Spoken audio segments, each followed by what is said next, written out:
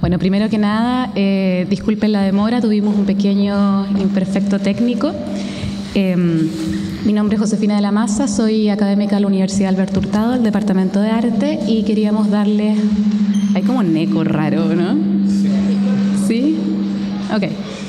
Y queríamos invitarlos a la continuación de este ciclo de conversaciones en torno a la retrospectiva de Sergio Larraín que ustedes pueden ver actualmente en la sala mata del museo. El día de hoy tenemos eh, dos mesas. la primera de ellas, que es eh, la que va a comenzar a, continuación, recibe el nombre de Callejeo y Hallazgo, las ciudades del fotógrafo. Y la segunda, que va a empezar aproximadamente a las 7, 7.20, por el atraso que tuvimos, recibe el nombre de Lugares Comunes y otros sitios, Chile, la fotografía de la Raín. Antes de comenzar, eh, nos gustaría volver a reiterar los agradecimientos que permiten que estemos todos aquí hoy día en principal a los organizadores del museo, o sea, los organizadores del museo, los organizadores de la exposición, eh, Verónica Besnier y Luis Weinstein, al Museo Nacional de Bellas Artes por otorgarnos este espacio y en especial a Bárbara Pifre, ya que es nuestra directora de extensión de la universidad, el Departamento de Arte, por hacer posible eh, este, este encuentro. En esta primera mesa nosotros nos centraremos hoy día en los modos de recorrer, habitar y ocupar la ciudad, en las miradas atentas y reflexivas sobre el espacio urbano que, se van construyendo fotográficamente a partir de la noción del callejeo, ¿cierto? del mirar el espacio urbano a partir de perspectivas absolutamente diversas. Y para eso estamos hoy día, primero que nada, con Bruno Cunio, que es profesor del Instituto de Arte de la Universidad Católica de Valparaíso, que además dirige la revista Pensar y Poetizar. Estamos también con José Pablo Concha, que es profesor del Instituto de Estética de la Pontificia Universidad Católica, que además es fotógrafo. Y por último estaremos con Constanza Vergara, que es académica del Departamento de Literatura y del Magíster en Estudios de la Imagen de la Universidad Alberto Hurtado y que trabaja principalmente con eh, documentales autobiográficos. Entonces ahora los dejo con Bruno Cunio. Y muchas gracias y perdón nuevamente por la espera.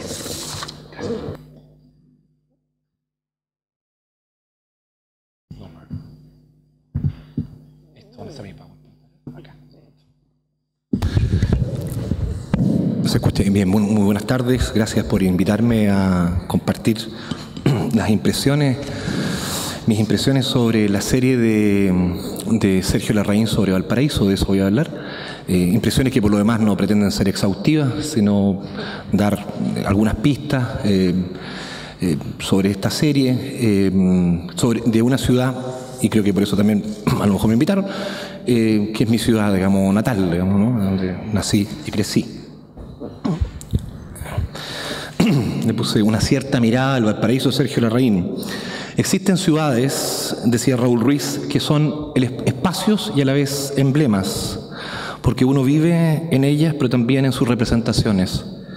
En las muchas novelas, cuentos, crónicas o imágenes que uno ha leído o visto desde niño, como la gente de Bagdad, por ejemplo, ve Bagdad al mismo tiempo por lo que es y por los estereotipos creados por las mil y una noches.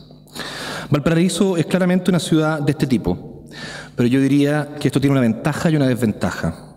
La ventaja es que uno como habitante o como oriundo de esa ciudad participa de algún modo de la fábula o del mito, ya que las ciudades emblemáticas, como ha mostrado Roger Quilloa, poseen casi siempre características míticas o al menos semifabulosas. La desventaja es que los mitos se convierten muy pronto en estereotipos y los estereotipos cansan, porque son formas coaguladas de visión y nos impiden formarnos nuestra propia visión de las cosas.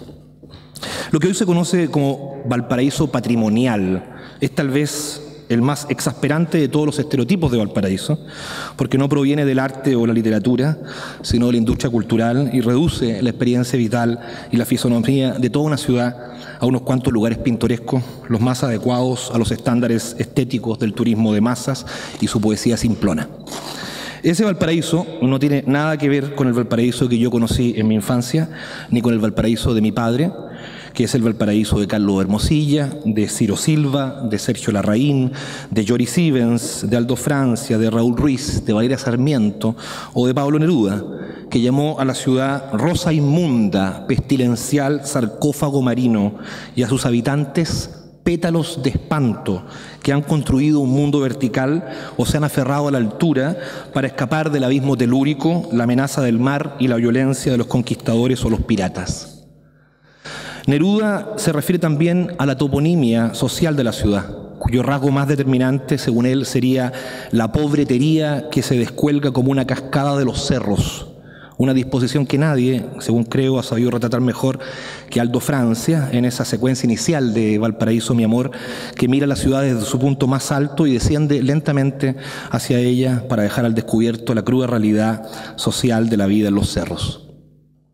Estas visiones expresionistas o neorrealistas de Valparaíso, valga decir, sustituyeron en su momento a la visión romántica de Salvador Reyes, Salvador Reyes que creó el estereotipo de Valparaíso como un puerto de nostalgia, desarraigado de su antigua fisonomía portuaria por las transformaciones urbanísticas y tecnológicas que habría entrañado el nacimiento de la vida moderna. Menciono estas visiones de Valparaíso y los estereotipos a los que han dado lugar para contextualizar mejor la mirada fotográfica de Sergio Larraín y lo que ella ha aportado a la construcción del imaginario visual de Valparaíso, que es una ciudad que existe, como decía Raúl Ruiz, en la imaginación a la vez que en sí misma y ocupa incluso un lugar mayor en la geografía poética universal, como decía Salvador Reyes. Larraín, como muchos de ustedes sabrán, eh, fotografió obsesivamente Valparaíso entre los años 1952 y 1963, y él mismo consideraba que sus imágenes del puerto fueron el comienzo de su vida como fotógrafo, el lugar donde dejó de sentirse un aficionado, podríamos decir, y pasó a configurar un mundo particular de experiencia y visión que puede interpelar a los demás o tener longitud de onda. Y él mismo dató esa revelación el año 1952, cuando realizó la que es tal vez su fotografía más famosa, que está en pantalla, y que representa a dos niñitas bajando por las escaleras del pasaje Babestrelo. Fue, como le dirá más tarde a Cartier-Bresson, la primera fotografía mágica nunca antes presentada que vino hacia mí. Y agrega a continuación que solo en Valparaíso pueden suceder estas cosas Muchos años después, en una carta dirigida a su sobrino, que es citada a menudo como su arte poética, Larraín insistirá sobre esta cualidad de la ciudad y le dirá que perderse en ella es perderse en la magia, que Valparaíso es magia pura. Esta descripción de Valparaíso como una ciudad mágica no era por entonces un estereotipo, pero hoy día sí lo es. Y créanme que yo debo hacer un esfuerzo muy grande por aislar lo que hay de cierto en esa afirmación, ya que muy a menudo lo mágico se utiliza para encubrir las impresiones más mediocres de una ciudad y me molesta en general como categoría para describir las cosas, a no ser que uno entienda lo mágico en clave surrealista como magia cotidiana es decir, como una ciudad que se presta más que cualquier otra para la irrupción fortuita o azarosa de relaciones misteriosas que configuran una realidad fantástica, perdón, alternativa o maravillosa, que sin embargo no es una realidad fantástica, porque no está lejos del mundo, sino que es una cualidad de nuestra vida aquí o de nuestra vida cotidiana. Solo en ese sentido eh, estoy dispuesto a encontrarle razón a la afirmación de la Raín, Valparaíso es magia pura, porque Valparaíso tal vez por su arquitectura contrastante, por sus planos abruptos, por sus rincones y por las diversas temporalidades que coexisten, favorece ciertamente las situaciones paralógicas, los hallazgos fortuitos, las experiencias casuales antes que causales. Yo podría enumerar una larga lista de situaciones de este tipo que yo eh, he visto por mi cuenta, digamos. Simplemente decir, por ejemplo, que sean situaciones como muy curiosas, la cárcel de Valparaíso no mira al mar, no, le habría costado nada al arquitecto ponerla mirando al mar, mira al cementerio, por ejemplo. Eh, o bien la micro que yo tomaba cuando era niño eh, era el recorrido Placeres Cementerio, y otra que tomaba después se llamaba Cárcel Hierbas Buenas. Bueno, en fin, podría dar muchos ejemplos de este tipo, pero pensando ahora en las fotografías de Larraín, algunos podrían considerar algo forzada, digamos, esta afiliación de su mirada sobre al paraíso con la mirada surrealista. Pero es cosa de fijarse en el interés que demuestra en varias de sus fotografías de la ciudad por las coincidencias y los contrastes fortuitos esta, esta, esta, imagen está muy mala. Eh, perdónenme, digamos, la calidad de la imagen es casi impresentable en la posición de un fotógrafo, pero estaba mala calidad. Hay una estatua de una mujer, de una alegoría, de una leyendo, es un monumento que está en Valparaíso, en un cerro, y abajo hay una mujer leyendo también, sentado. Eso es lo que capta ahí, apenas se puede ver bien, digamos, ¿no? Pero también está la foto, la otra, ¿no? Eh, decía, eh, el interés que demuestra en sus fotografías de la ciudad por las coincidencias y los contrastes fortuitos, eh, sin contar que cuando él mismo habla de los aspectos esenciales de su trabajo, menciona varios elementos que también son determinantes en la estética surrealista, como el vagabundeo o la posibilidad de desviarse de los cursos prefijados para construir contraitinerarios, eh, hay que aprender a perderse, a salir del mundo conocido, entrar en lo nunca visto, le dice a su sobrino. También la ebriedad o la visión desnormalizada de las cosas, sacar fotos, le dice a su sobrino también, es como estar curado. O la atracción que siente eh, por las, eh, lo que podríamos llamar las configuraciones poéticas espontáneas de los objetos eh, y sobre todo la fascinación que parece sentir por la mirada infantil o de los niños que están libres aún de las convenciones sociales o estéticas que organizan el mundo de los adultos y pueden por lo mismo ver las cosas desde un ángulo inusitado, como el fotógrafo, que según el Raín también debe hacerse niño o trabajar en estado de gracia. Eso podría explicar no solamente el protagonismo que tienen la fotografía de la raíz los niños, que por lo demás casi siempre parecen solos, eh, vagabundeando y en actitudes incluso a veces medias desafiantes. Eh, no están retratados, digamos, de la manera tópica, digamos, que podría decir se, se suelen retratar los niños sino también, digo, podría explicar la predilección por los encuadres realizados eh, desde ángulos eh, insólitos, laterales, ascendentes, eh, cenitales, a ras de suelo, casi nunca frontales e incluso la predilección que tiene por las imágenes desenfocadas o los encuadres fragmentarios o los encuadres obstruidos, como si sintiese en todo momento un conflicto entre la visión espontánea o infantil que más le interesa y el tipo de visión que imponen el mecanismo de la cámara y las convenciones fotográficas.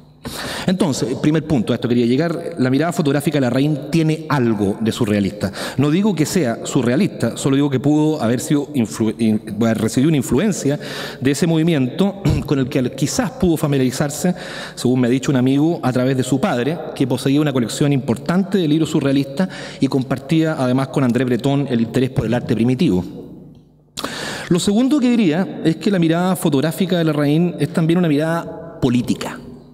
Y con esto no quiero decir que su arte sea un arte ideológicamente comprometido, sino que es político porque trabaja conscientemente en la construcción material y simbólica de una comunidad sensible nueva, lo cual obliga siempre a romper con las formas impuestas o dominantes de ver y sentir, que son para, la raíz formas enfermas, como él mismo lo reconoce en una de sus máximas de sabiduría.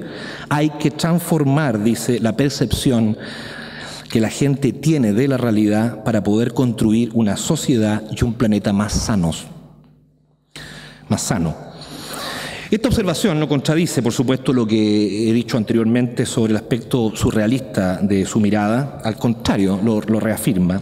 No hemos olvidado que, de que la, mirada surrealista no, es solo, no era solo una mirada poética, sino también una mirada política, porque también aspiraba a construir una comunidad sensible nueva que estuviera liberada de los intereses egoístas y la racionalidad de los fines que organiza más a menudo la experiencia de los hombres en la sociedad capitalista, esos hombres que eh, Larraín llamaba en sus cartas los predadores y que él mismo ha retratado en sus fotos de Londres una ciudad eh, atestada de swinnies u hombres huecos, como llamaba el poeta T.S. Eliot, a los oficinistas y hombres de negocio eh, londinenses que transitan por las calles y el metro de, perdón, y el metro de la ciudad como las almas eh, condenadas en el infierno. Esto sucede en Londres, pero, pero diría que sucede en el infierno, dice en la misma línea metafórica el escritor Roberto Bolaño, que escribió un espléndido ensayo sobre esta serie, respecto de la cual La serie de Valparaíso vendría a ser, según creo, algo así como su contrario dialéctico, porque no representa los rostros y las actividades de los hombres de la urbe capitalista por excelencia, sino los rostros y las actividades de quienes son más bien su contrafigura, los bohemios, las prostitutas, los travestis, eh, los, marineros de paso, eh, los perros, los vagabundos, los niños e incluso eh, los quiltros. Voy a devolverme la imagen, me están pasando un poco más rápido y estoy fuera de secuencia.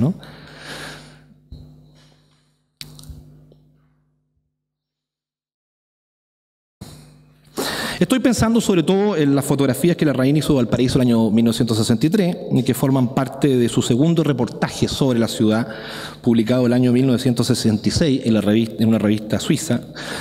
Y la Reina trabajó dos años en esta serie y contó con la guía de Pablo Neruda, lo que vendría a explicar en cierto modo eh, una visión algo más ruda, esta visión algo más ruda o más sórdida, pero también más política de Valparaíso, que habría impresionado a unos editores neoyorquinos, según cuenta el mismo, pero no se atrevieron a publicarlas.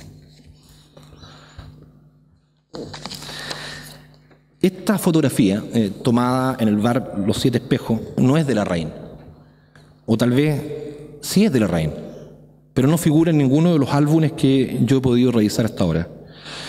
Lo cierto es que forma parte del archivo de Joris Stevens, que se encuentra en Holanda, y di con ella mientras leía el excelente libro de Tiziana Paniza sobre el trabajo que realizó este cineasta en nuestro país, donde, realizó, donde hizo tres películas, una de las cuales es A Valparaíso, un formidable tributo cinematográfico a la ciudad eh, que creó el estereotipo de Valparaíso como un puerto muy exótico, muy legendario y muy loco, cuya decadencia, según Ivens, era además una imagen rediviva de la, difícil situación de América Latina. Lo interesante es que esta película de Ivens se rodó entre fines de 1962 y comienzo de 1963, es decir, casi por la misma época en que Larraín comenzó a trabajar en su serie más importante sobre Valparaíso, y Tiziana Paniza eh, me ha confirmado recientemente que la Larraín habría estado presente en algunas sesiones del rodaje y que incluso pudo haberle entregado a Ivens algunas de sus fotografías para preparar la película. Es muy interesante también que tanto Ivens como la Larraín contaran con la guía de Neruda, cuyas habilidades sociales permitieron que Valparaíso entrara de golpe en lo que Walter Benjamin llamaría la época de su reproductibilidad técnica. Como no tengo mucho tiempo, ni quiero latear a la concurrencia, me voy a limitar a mencionar dos coincidencias entre la manera en que Ivens y Larraín presentan Valparaíso, sin contar que ambos coinciden en algunas locaciones, como el bar Los Siete Espejos, o que ambos le otorgan gran protagonismo a los niños de la ciudad, o que Ivens, como Larraín, venía de realizar recientemente un reportaje sobre París y otro sobre Italia. La primera coincidencia es toponímica y supone en ambos, eh, en ambos casos una opción política. Según Ivens, que recorrió durante dos meses la ciudad eh, tomando notas, Valparaíso es una ciudad vertical dividida en dos niveles geográficos, alto y bajo, que son a la vez dos niveles sociales. Los cerros los habitan los pobres y el plan lo habita la, la burguesía indiferente, lo cual es ya una rareza porque en otras ciudades suele ser a la inversa.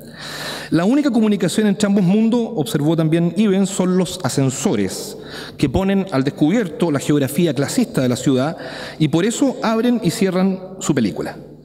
Ivens, que era comunista, se concentra en su película prioritariamente en el pueblo que habita los cerros, cosa que también hace Larraín, en cuyas fotografías el plan de la ciudad no existe en absoluto, con excepción de sus fotos tomadas eh, en el muelle, que en rigor no forma parte del plan y es más bien una fuera. Y habría que tener eh, presente dos cosas más. Que la Raín tituló La ciudad colgada en los cerros al primer reportaje que publicó sobre Valparaíso, una revista brasileña en el 59, y que el álbum de Leblanc, eh, el más famoso de los álbumes fotográficos antes de que, sobre Valparaíso, que antes de que la Raín hiciera el suyo, no incluye ninguna fotografía de los cerros de Valparaíso. La segunda coincidencia es estética. La película de Ivens está organizada estructuralmente, como dice muy bien Tiziana Paniza, como un caleidoscopio de contrastes arquitectónicos y escenas sociales que ocurren al mismo tiempo. Y el referente pictórico de este dispositivo formal era para Ivens los cuadros de Bruegel, que recurre masivamente a la técnica del caleidoscopio cuando representa escenas urbanas o costumbristas. Los, planos Bruegel, como los llamaba Ivens, no solo le permitieron resaltar en su película los contrastes que caracterizan la arquitectura y a la vida social de Valparaíso, sino también la idea de una comunidad que quiere vivir y no ha perdido su alegría a pesar de su precariedad y sus dolores. Ahora bien, no pretendo sugerir que la mirada de la Raín sobre Valparaíso sea también, aparte de una mirada surrealista, una mirada comunista, ni aún teniendo en cuenta su estrecha amistad con Neruda o Violeta Parra, ni aún teniendo en cuenta que su búsqueda espiritual atravesó todas las figuras posibles antes de convertirse en un renegado del fotoperiodismo, de refugiarse en el yoga y eliminar completamente de su fotografía los seres humanos. Ya dije antes que el arte no es político porque habla el nombre de alguna ideología política, sino que es político porque construye un dispositivo de visión que reinventa la mirada de las cosas y trabaja de ese modo en la construcción de una comunidad sensible nueva o de un pueblo que falta. Solo pretendo sugerir que el dispositivo formal de la fotografía sobre el paraíso parece haber sido escogido sobre la base de observaciones muy similares a las realizadas por Ivens Valparaíso, como escribió Neruda, observando las fotografías de la Raín, es secreto, pero también sinuoso y recodero. Es decir, está plagado de contrastes y cruces enigmáticos, pero también de ángulos y acciones simultáneas, por lo que su representación exige crear un dispositivo de visión como el que supo crear Ivens, pero también la Raín, cuyo sistema de encuadre, y con esto termino, diría para terminar y, rematar el punto, cuyo sistema de encuadre es similar al de los siete, al de los espejos del bar de los siete espejos, que afirmados con cordeles, cuenta el propio Larraín, quedaban inclinados y se reflejaban los unos a los otros formando un caleidoscopio. Eso, gracias.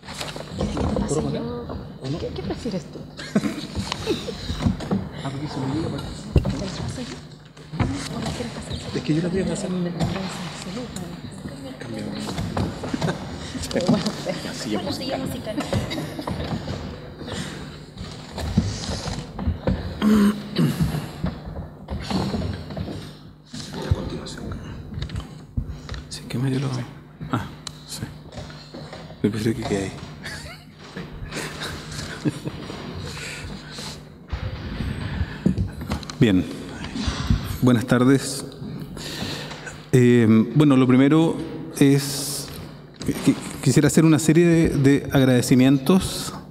Eh, en primer lugar, eh, bueno, Ana María Risco, por, me imagino, pensar en, en, invitarme a esto, y a Josefina de la Maza también, ¿cierto? Por eh, su gentil gestión ¿ah? eh, y también en realidad eh, a los gestores que trajeron esta, esta exposición acá al, al, Bellas Artes, a Chile, porque en realidad estimo que para la fotografía, para la cultura en general, digamos, pero para la fotografía chilena, eh, no me cabe ninguna duda que es el hito más importante en la historia de la fotografía. O sea, así, así radical creo yo que es esta, esta muestra. Recuerdo que hace muchos años eh, siempre se, decía, se tenía la, fantasía de que en algún momento se podría traer la muestra, o hacer una exposición sobre la fotografía de la raíz o algo así, y siempre se decía, bueno, es muy caro, qué sé yo. Eh, entonces, creo que, eh, es una, es una eh, experiencia en este minuto, ¿cierto?, extremadamente importante para todos, para todos nosotros, para todos los que nos interesa efectivamente la, fotografía. Eh, el tema que, nos convoca y que, bueno, Bruno acaba de trabajar muy brillantemente, ¿cierto?, es el callejeo y hallazgo la ciudad del fotógrafo, pero eh, creo que yo me voy a concentrar fundamentalmente en la idea del callejeo. ¿ah? Em, bueno, lo primero que yo quisiera decir es que, bueno, efectivamente Larraín es una figura controversial, es un mito con toda la dificultad que justamente Bruno decía, eh, de, cuando algo se transforma en mito, en este caso era la ciudad del paraíso, ¿cierto? Eh, yo quiero concentrarme en la figura de, la Raín. Em, ¿Por qué? Eh, bueno, de partida, ¿cierto? El, el, mito ah, como, como, un, como, una historia, como un relato que, que, se presenta puede de alguna manera eh, eh, definir ¿ah? eh, ciertas líneas de, éticas ¿ah? y estéticas también, en el caso de, nuestro fotógrafo, pero todo mito tiene un héroe, héroe en este caso, claro, nuestro fotógrafo, pero para que sea tal debe tener caídas. Y en este caso, ¿cierto? Claro, el mito que se construye de este héroe, ah, eh, esta historia mítica, em, lo constituye, ¿cierto?, como el fotógrafo mayor de la fotografía chilena. Tal vez en la historia, como decía, de la fotografía chilena. La pregunta sería, ¿esto solo porque perteneció a, a la agencia Magnum, ¿cierto?, que es ya a esta altura otro mito, eh, en realidad siempre pienso que la, agencia Magnum para la fotografía chilena es casi como una fantasía erótica para eh, la fotografía marginal chilena. Eh, pero por otro lado, la Larraín ¿cierto? es el aristócrata que reniega de su origen y esta historia ¿ah? de, esta distancia resulta apreciada y apreciable en nuestro país, más bien a revista, sujeto además que arranca permanentemente, arranca de su familia paterna, de la universidad, de su país, del mundo, de sí mismo. En este sentido, el callejeo fotográfico viene precedido de un callejeo existencial, de un vagabundeo a tientas que va golpeando con muros, que se va golpeando con muros, que van templando para luego tomar la decisión del retiro. Las historias que se contaban de su enclaustramiento eran variadas. Recuerdo, por supuesto, que cuando estudié fotografía hace ya muchos años, cuando supe de la figura de Larraín, ah, como todo fotógrafo que se inicia en esa época, digamos, y sabía de la, de la figura de Larraín, de inmediato todo el impulso de ir a conocer al maestro, de hacer a su vez eh, yo, como muchos otros, el viaje ¿ah? iniciático para conocer al maestro, pero rápidamente me dijeron, no, no vale la pena, pues ya ni habla de fotos. Ese fue el comentario. Eh, que, bueno que me dijeron eso, así que no hice ese viaje iniciático. Eh, pero, claro, esta, esa era una de las, bueno, de las razones que se contaban digamos, de este enclaustramiento, ¿cierto? pero por, por un lado, la vida mística podría haber sido la, razón de ese encontramiento, el peligro de la mafia, una muerte. Tal vez lo más certero sería decir que la reina siempre vivió en su retiro. La paz interior, salvar al mundo de las amenazas del equilibrio ecológico, la meditación están presentes en realidad en todo momento de su vida. Y esto me parece interesante de considerar. ¿no? Eh, bueno, en el texto que, eh, escribe Gonzalo Leiva, ¿cierto? En, el, magnífico libro ¿cierto? que muestra la obra de, la Raín, eh, ahí explica muy detalladamente ¿cierto? todo el recorrido que él hace desde, su, juventud con esta tendencia natural al retiro, justamente. Por lo tanto, no resulta a su vez sorprendente que al final ah, lo materialice ya de manera bastante más radical. Em, entonces, finalmente, eh, en este sentido, yo podría pensar que el silencio eh, es su única manera, que tuvo paréntesis dramáticos. Ahora, em, creo que la raíz con esta búsqueda de este silencio, eh, hace un ejercicio crítico de las posibilidades de la fotografía. Y en ese sentido, de inmediato, en función del tema que nos convocaba, yo me, pregunto, ¿no? ¿Qué se puede reconocer eh, en la imagen, ¿cierto? Eh, las ciudades que son representadas. Eh, ¿Cómo opera la posibilidad de reconocimiento de los lugares? El lugar, en este caso, lo entendemos como fundamentalmente distinto a los espacios, en el sentido que se habla del lugar cuando se encuentra el propio. La distinción tiene que ver con la identificación de lo familiar en esa estructura sostenedora. Ahora, en la fotografía lo que se hace reconocible es la equivalencia a una experiencia pasada con las formas, volúmenes y tonalidades de la fotografía. En realidad, no puedo saber cómo es Valparaíso para la Larraín. Lo que sí sé es cómo son las fotografías de Valparaíso de la Larraín.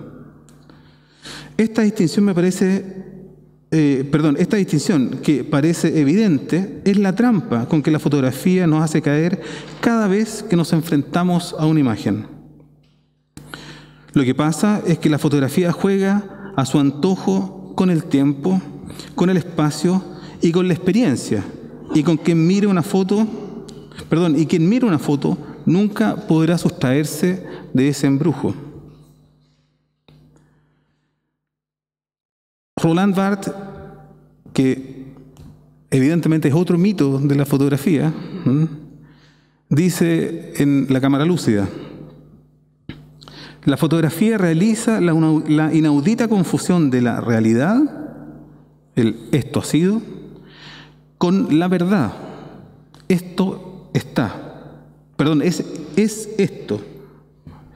La distinción entre esto ha sido como una realidad respecto de la verdad, ¿cierto? Que es el es esto.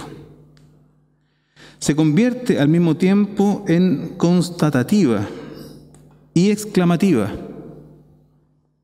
En primer lugar, habría que despejar que la fotografía nada hace, sino que más bien es el que mira la foto quien se confunde.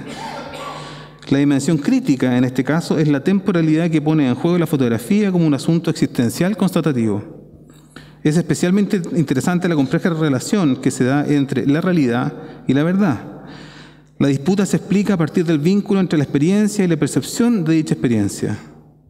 La conciencia se encuentra con una experiencia fuera de ella y debe discernir la calidad de ese encuentro. La confusión se da en el momento en que se identifican realidad con verdad. Filosóficamente considerada, podemos pensar en esta diferencia como una oposición, ¿cierto? para ponerle un poco un toque filosófico, cierto? una distinción óntico-ontológica. Es óntica la realidad por cuanto se manifiesta los sentidos desde una materialidad que se ofrece concreta, indiscutible, irrefutable, pero a cuya condición trascendente no podemos acceder. En este punto, el problema se convierte en ontológico, pues la trascendentalidad nos orienta hacia una verdad que solo es posible reconocer desde una tradición espiritual en sentido muy amplio. La diferencia fundamental entre esto ha sido y es esto es la temporalidad implícita y la diferencia constatativa y exclamativa que el mismo Martes indica. Estas fórmulas además muestran una coincidencia estructural. Lo constatativo contiene potencialmente lo que ha sido, por lo tanto podríamos afirmar que son dos momentos de un mismo movimiento. Se copertenecen y esta pertenencia revela fenomenológicamente eh, la superficie de una significación potencial que se encuentra en la conciencia del observador en la fotografía.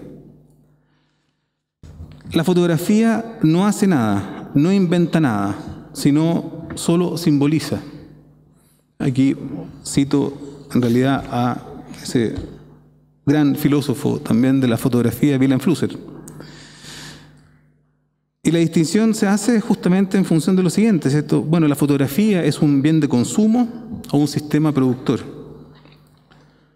Interesante cómo el filósofo establece esa distinción y me interesa detenerme en esto porque justamente una de las grandes luchas ¿ah? Una de los, uno de los grandes eh, eh, eh, elementos conflictivos ¿cierto? en la producción fotográfica de Larraín fue la relación ¿ah? con la distribución, en el fondo comercial de su trabajo.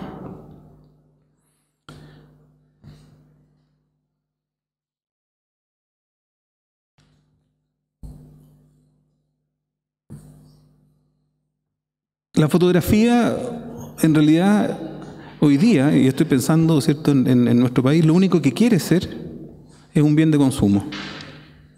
¿Mm? O sea, lo único que quiere la fotografía, que es razonable pensar esto, ¿ah? es transformarse en un bien de consumo a partir de una industria. La venta de fotografías, etcétera. Bueno, la raíz, sin duda que, bueno, vivió de la fotografía, pero fue un espacio, fue un elemento conflictivo.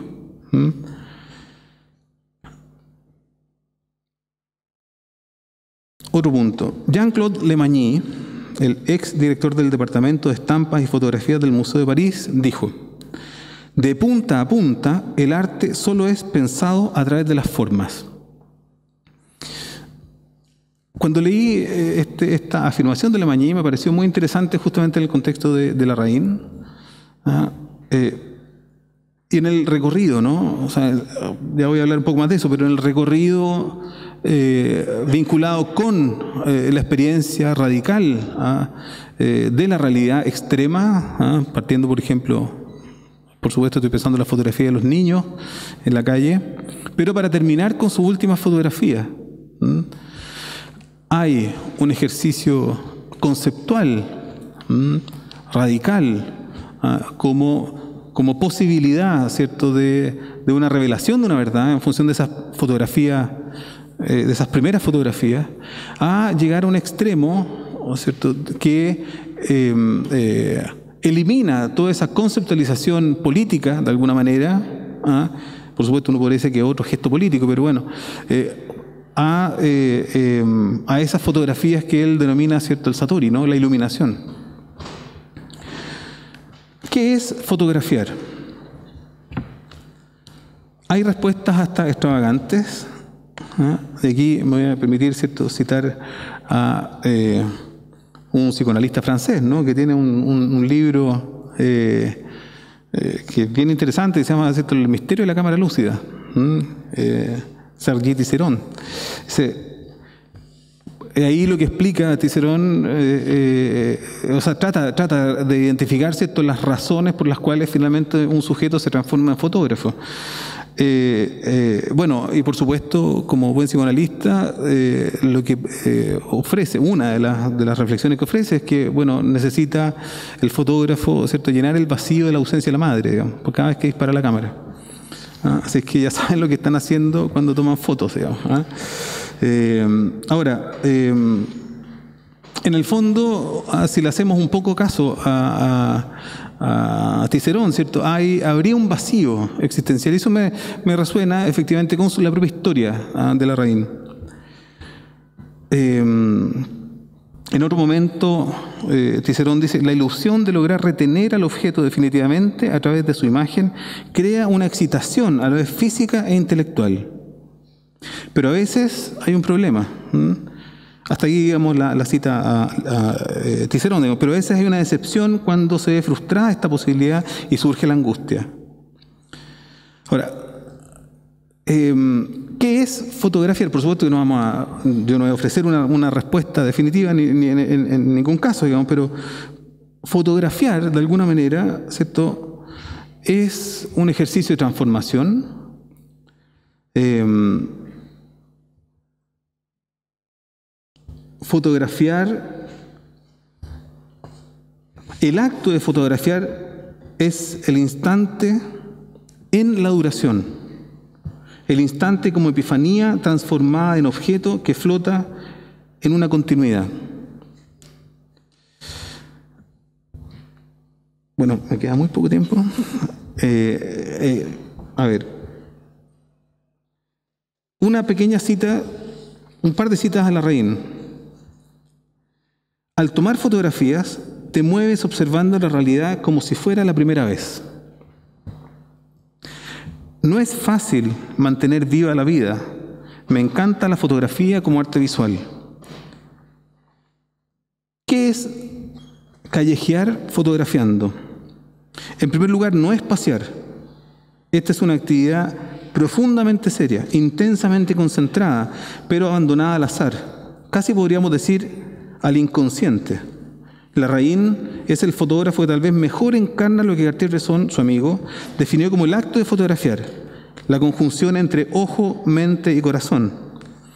Esta performatividad fotográfica unifica en un instante, como decía Bruno, ¿cierto? refiriéndose a, a, a Larraín, ¿cierto? un instante mágico, la geometría, la cultura, la emoción y la emoción desde la sensibilidad. Es una relación muy compleja que como estrategia creativa no siempre resulta, pero cuando esto ocurre se experimenta como un momento de revelación, la iluminación que dice la reina. Tal vez por eso hay fotógrafos, y esto también ocurre muy frecuentemente, que abandonan esta práctica. Por supuesto, eh, el caso más emblemático es el mismo Cartier-Bresson. Porque son muchas las veces en que frustra el disparo y al menos eh, el momento, eh, perdón, porque son muchas las veces en que frustra el disparo y menos el momento de orden total. Otra cosa es aprender el oficio del fotógrafo y ser capaz de hacer fotos. Ahora, eh, yo hice una pequeña, muy breve, pequeña selección de fotografías, pero que me interesaba indicar lo siguiente, que la fotografía de la raíz, en mi opinión, ¿cierto? va desde, históricamente, digamos, desde una referencialidad radical a una autonomía total de la imagen. ¿A qué me refiero con esto? Estas imágenes efectivamente se constituyen en esta referencialidad radical, es decir, miramos estas imágenes y de inmediato nos conmueve el niño, la condición ah, de miseria, ¿Mm? Pero el mismo Larraín, así como muchos otros fotógrafos, rápidamente se dan cuenta que la fotografía no logra resolver nada. Lo que logra resolver, ¿cierto?, es simbolizar. Y ahí está su potencia. ¿Mm?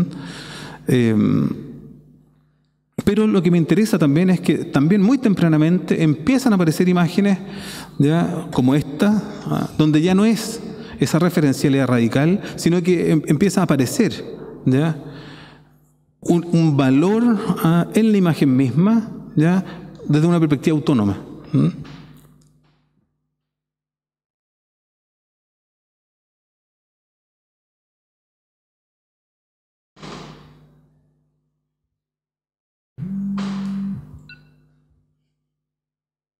Pura forma pero forma como iluminación.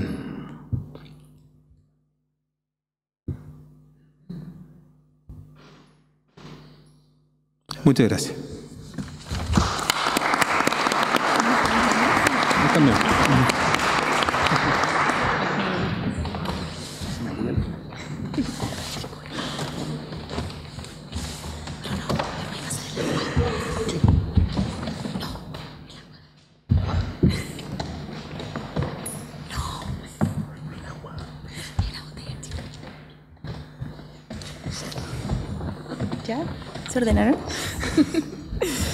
Eh,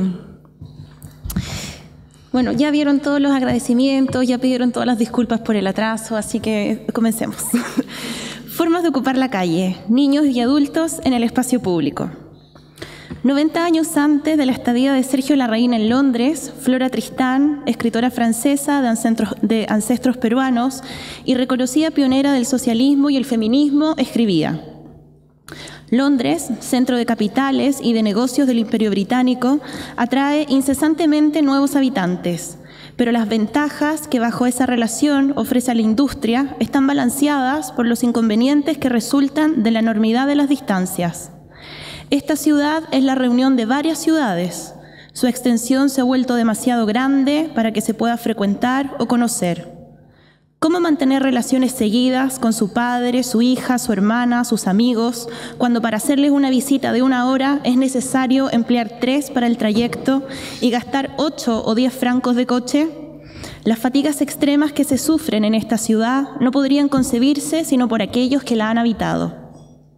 Si el ejercicio moderado es saludable, continúa Tristán, nada mata más la imaginación ni paraliza el espíritu y el corazón que una fatiga extrema y permanente. El londinense que regresa a su casa por la noche, agotado por los viajes del día, no podrá estar alegre, ni espiritual, ni dispuesto a entregarse a los placeres de la conversación, de la música o de la danza. Tal es el destino de los habitantes de la monstruo ciudad. Autodefinida como paria, Tristán escribe desde la perspectiva de una persona excluida de las ventajas que pueden gozar otros y a su vez practica una continua movilidad. En este sentido, tanto su historia como los títulos de sus libros son muy ilustrativos.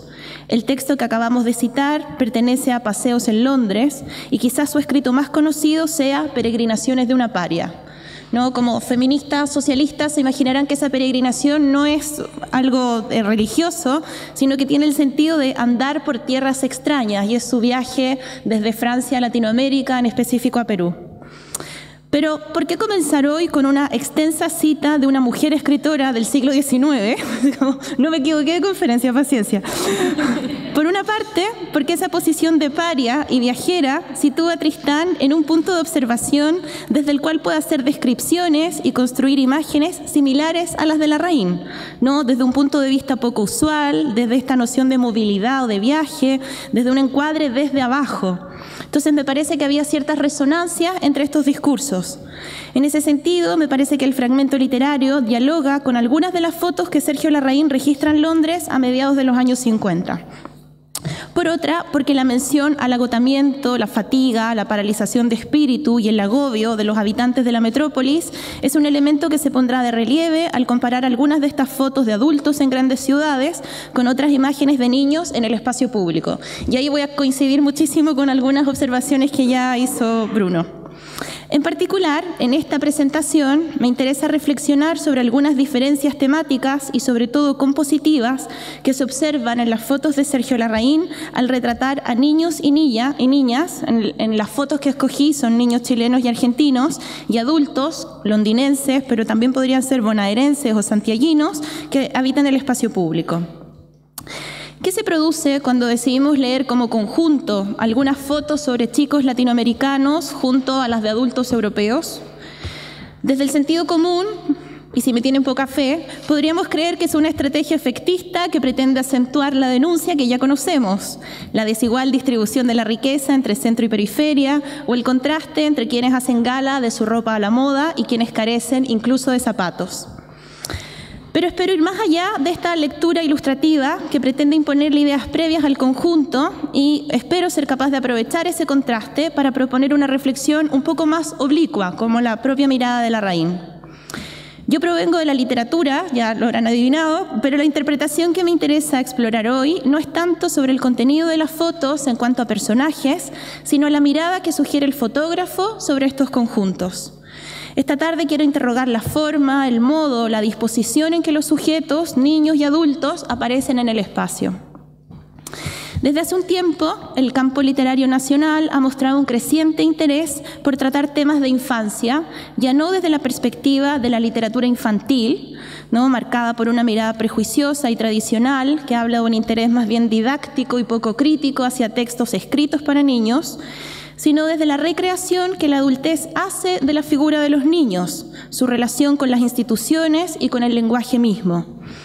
En ese sentido, algunas de las reflexiones que escucharán hoy recogen ideas discutidas en trabajos de críticas como Andrea Jeftanovich, Catalina Donoso, Claudia Darrigrandi y Lorena Amaro, quienes han escrito sobre la relación entre pobreza, infancia y representación en obras de teatro, cine y novelas respectivamente.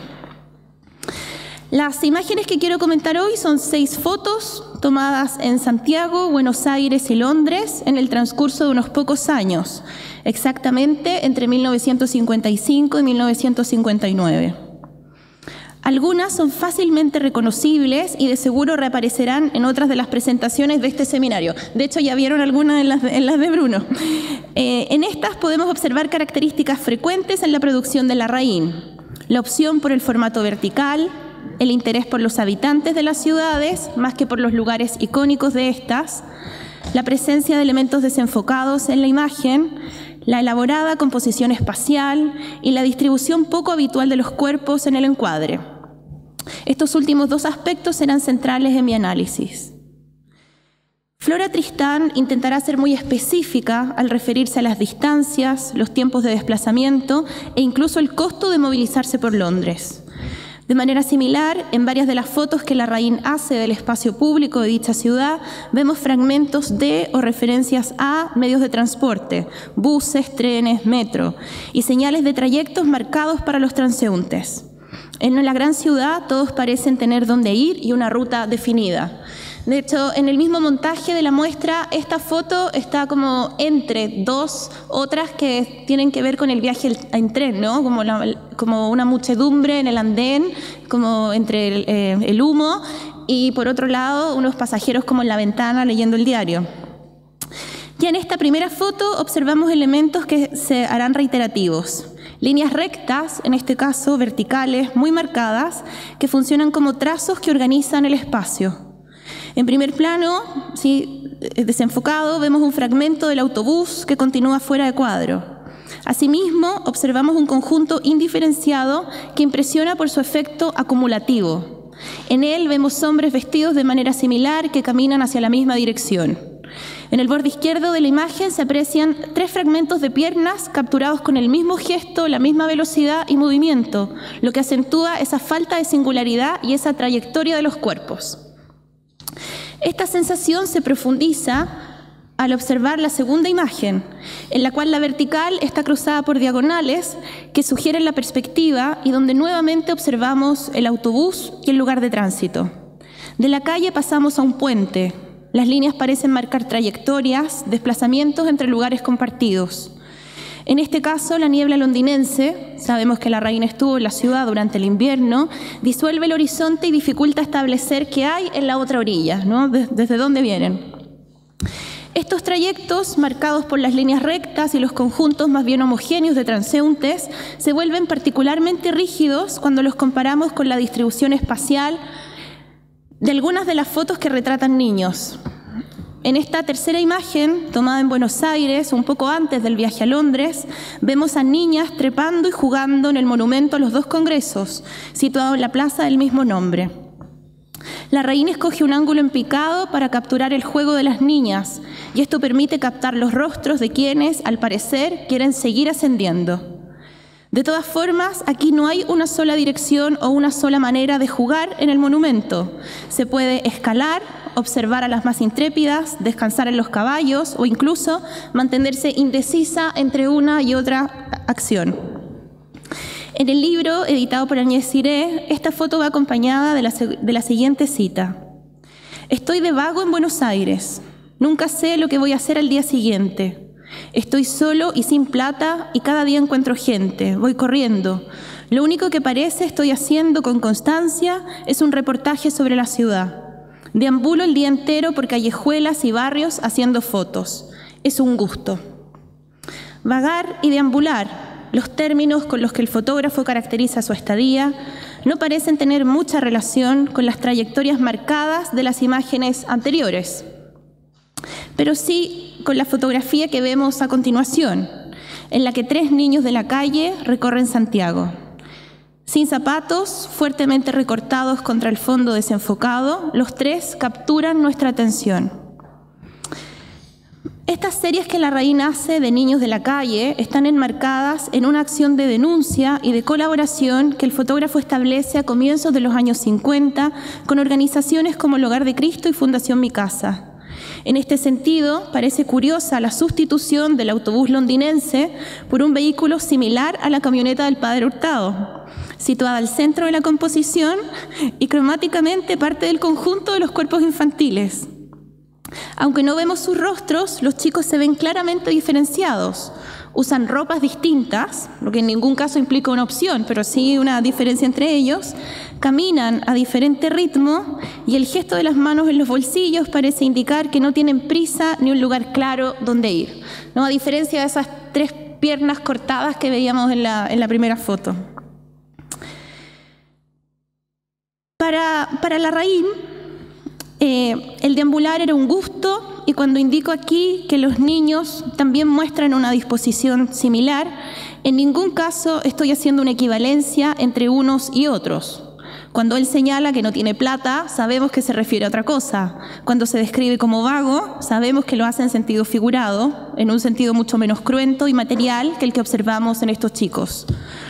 De todas formas, me interesa pensar la posibilidad de disfrute y juego que presenta para estos niños el espacio público. Así como el neoclásico monumento bonaerense, lleno de referencias alegóricas a la República Argentina, no tenía previsto su uso como patio de juegos, la calle es tanto hogar como lugar de trabajo esporádico o sitio de entretención para estos niños. El geógrafo y urbanista catalán Jordi Borja indica que el espacio público moderno proviene de la separación formal entre la propiedad privada urbana y la propiedad pública, que normalmente supone reservar este suelo libre de construcciones, excepto que sean equipamientos colectivos y servicios públicos. Para estos lugares, el destino debe ser usos sociales característicos de la vida urbana, ya sea esparcimiento, actos colectivos, movilidad, actividades culturales, referentes simbólicos monumentales, etc. El espacio público también tiene una dimensión sociocultural, es un lugar de relación y de identificación, de contacto entre las gentes, de animación urbana, a veces de expresión comunitaria. ¿no? Ahí cierra cita. Allí donde el espacio público londinense parece estar cifrado por las líneas rectas, los trazos marcados y las trayectorias. Aquí en, esta imagen de las escaleras me gustaba mucho, ¿no? Porque estaba súper claro eh, y además en esta foto y en Europa se respeta eso de a la derecha, o sea, como ese pequeño espacio vuelve a estar como subdividido y organizado.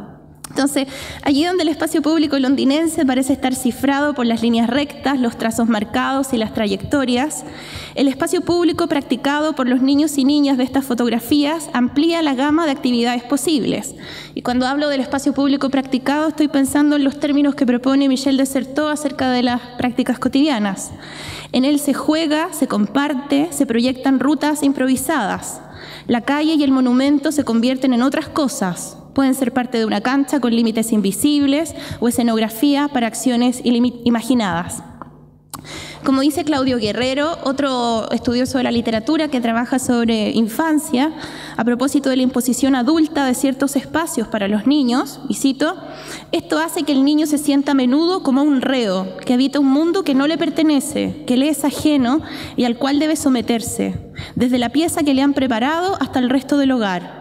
De allí la concepción de Walter Benjamin del niño como un huésped errante e inseguro, cuyos atolondrados movimientos y su natural disposición al desorden y a la colección de cualquier tipo de cosa que capte su curiosidad colisionan con las operaciones hogareñas que buscan el orden y el disciplinamiento. Ante esto, el niño responde con su afición a esconderse entre los escondrijos de la casa, a hacerse invisible, fantasma, porque el espacio que le toca habitar es esencialmente adulto y nada verdaderamente le pertenece. Lo que parecen representar algunas de las fotos que la Raín toma a los niños que juegan en la calle que después podríamos hablarlo, pero es una especie en extinción, yo creo, ¿no? Ese juego libre en la calle, que no sea como cercado. Y lo que resalta al contrastarlo con, con las fotos de adultos londinenses es justamente un uso mucho más apropiado, en el sentido de tomar propiedad de ese espacio, de volverlo propio y de practicarlo mucho más energéticamente. Diluyen las líneas rectas e inventan nuevas posibilidades, posibilidades que transgreden las rutas, los trazos y los usos previstos. Gracias.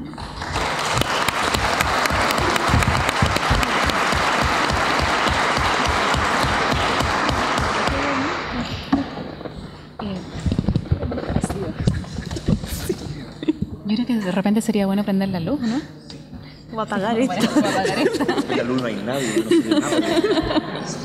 No estamos nosotros. Eh, a pesar de que estamos un poquito cortos de tiempo, no sé si hay alguien que quiera hacer algún tipo de intervención, comentario, pregunta, pero no veo nada. No, nadie. Todo el mundo se fue, nos quedamos solos. Ahí sí, gracias. Sí, ¿no? guardan para la próxima. O se guardan para la próxima, también es posible. Eh, en principio no, pero si alguien quiere hacer algún tipo de intervención, se podría. Aún sigue sin ver. No, pero nadie da la mano.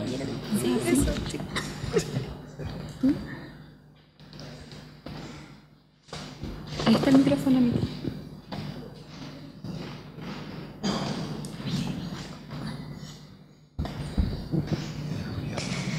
Aló, sí, buenas tardes. Gracias a los tres por sus bonitas presentaciones.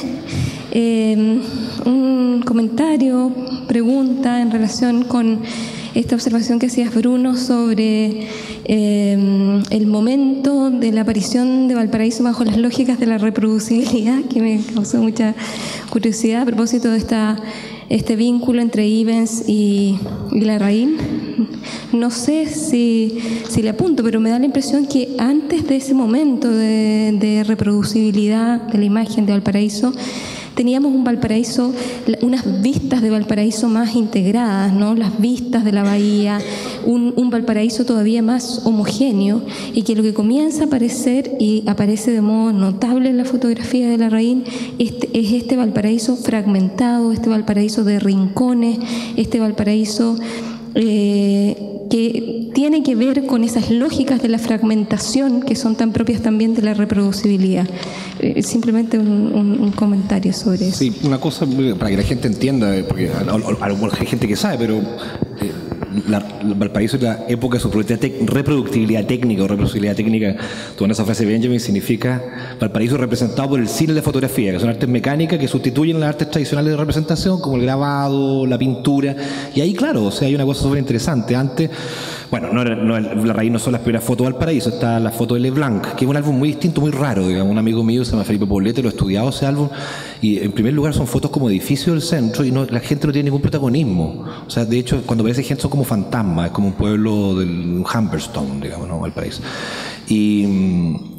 y lo otro es que, claro, era patrimonio de Sommerscales, de la pintura, era patrimonio también de los grabadores, Ciro Silva, Carlos Hermosilla, o sea, las técnicas tradicionales de representación. Y yo creo que, bueno, la fotografía y el cine traen dos cosas, o el montaje, la posibilidad de construir precisamente visiones yuxtapuestas, y el inconsciente óptico también la posibilidad de ver, digamos, ¿cierto? De, de, digamos, dar cuenta de aspectos de la cosa que pasan desaperci- de- desapercibidos, digamos, ¿cierto? A la, a la visión como natural de las cosas.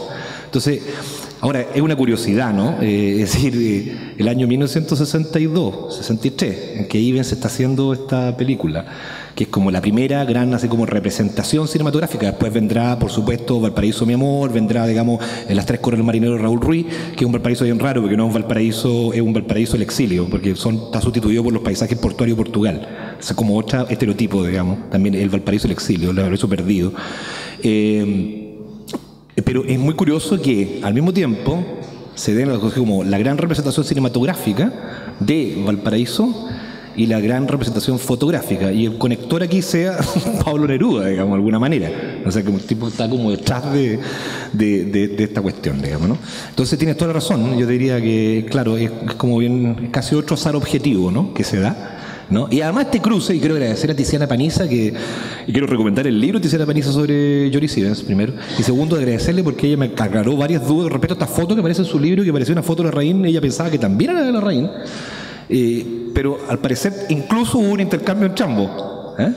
Es probable que sea una foto que la raíz le pasó a, a Guzmán, Patricio Guzmán, no el que nosotros conocemos, sino el asistente de fotografía de, de, de Ivens en ese momento, para preparar esta, esta visión de esta, este- esta película sobre el paraíso que coinciden curiosamente también en el modo de representarla, o sea, lo que podría llamar los planos Bruegel, estos planes zoom, esto- estas representaciones de este pintor eh, medieval, eh, de escenas de ciudad y costumbristas, y lo que podríamos llamar mejor los planos prostíbulos, una especie como de visión en caleidoscopio también que, que, hace la reina. Así que yo creo que es muy cierto eso. Muchas gracias. No sé si hay alguien que quiera preguntar algo más. No sé qué.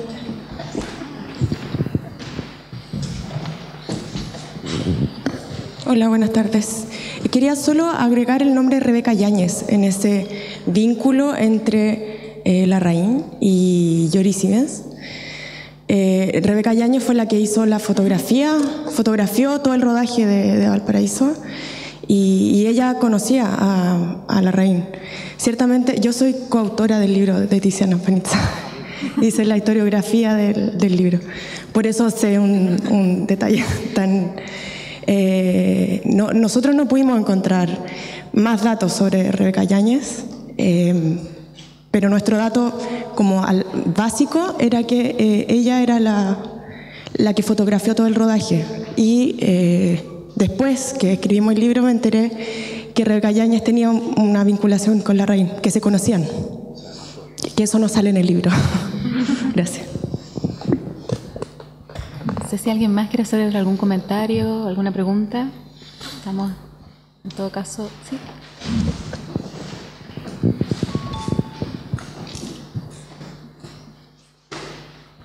Gracias. Eh, teniendo en cuenta lo que alguno de ustedes dijo de que hoy día cualquiera accede y tiene posibilidad de, sacar un teléfono y tomar una fotografía, un ejercicio que se ha quizás transformado en una acción más compulsiva y un tanto agresiva, este, esta compulsividad por retener la realidad. ¿Cuál creen ustedes que es el desafío de la fotografía hoy, en la actualidad, frente a tantas posibilidades?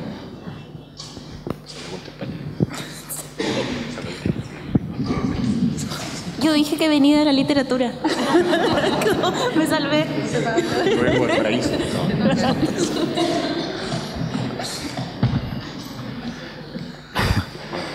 Eh, yo no sé si, si, el hecho de que todos tomen, todos tomemos fotos con, con teléfono, eso signifique realmente un desafío para la fotografía. Eh, eh, en el sentido de que, o sea, todos escribimos y eso no significa que es un desafío para la, para la literatura. ¿ah? Eh, lo que sí, claro, uno podría pensar que, que, que, equivocadamente, digamos que por el hecho de que todos tomamos fotos hay una cierta cultura visual o una formación más crítica sobre la fotografía, yo creo que todo lo contrario en realidad. Ah, o sea, justamente eh, eh, la proliferación de todos estos aparatos eh, hace que uno justamente cada vez entienda menos la imagen. Ahora, eso, eso no es problema para los fotógrafos, para la gente que, trabaja con fotografía en términos, como decía hace un rato, a partir de, una producción de carácter simbólica o algo así. Em, o sea, creo que, todos, en realidad, en algún momento, fotógrafo o no fotógrafo, le hemos achuntado una foto, pero claramente eso no nos transforma en fotógrafos.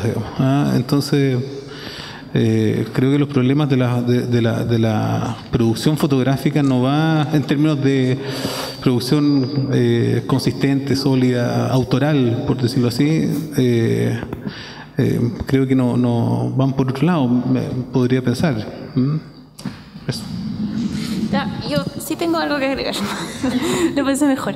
Eh, quizás el, el, desafío no sea tanto en la, en la producción eh, a partir del digital, sino el desafío es con el criterio de selección y con la organización de la colección o del archivo, ¿no? Porque es como, es, es barato y es fácil y uno puede tener muchos como gigas de imágenes guardadas, pero son, con suerte uno las tiene en carpeta y, están numeradas. Entonces yo creo que el, el tema y donde viene como una cierta conciencia es cuando uno tiene que realmente seleccionar eso, ¿no? No, no hacer álbumes de Picasa de 300 fotos de un cumpleaños, ¿no? Porque eso es como que nadie lo quiere ver, no se puede mostrar. Eh, me parece que, que eh, ciertas dificultades materiales que podía tener como la fotografía analógica, como irse de vacaciones con un rollo de 36 fotos, tenía que ver como con una decisión sobre la selección de los momentos y sobre ciertos criterios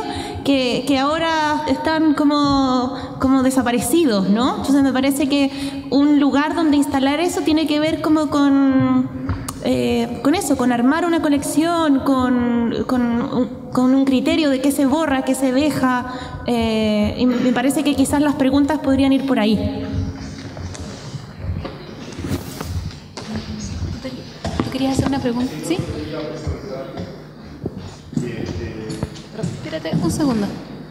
Bueno, ciertamente eh, quería puntualizar el tema de que, el, digamos, la historia de la fotografía, ciertos avances técnicos permitieron obras como la de la Larraín. O sea, esa es una de las especificidades de la fotografía. O sea, una cámara Leica es muy distinta a una cámara gran formato. Entonces, no es, no es comparable el trabajo de Leblanc, Bruno, a lo que hizo la Larraín con una Leica.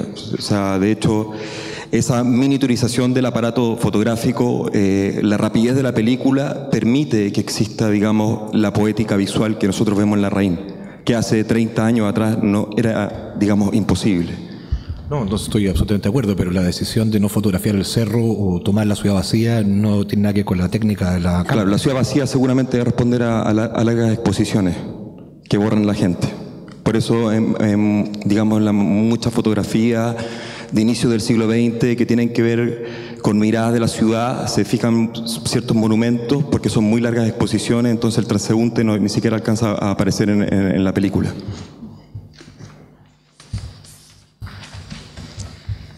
¿Quieres? No, Bueno, eh, con eso vamos a cerrar esta primera parte. Los queremos dejar invitados. Vamos a hacer un pequeño recambio de unos cinco minutos. Así que nos gustaría que nos sigan acompañando en esta tarde de otoño. Muchas gracias.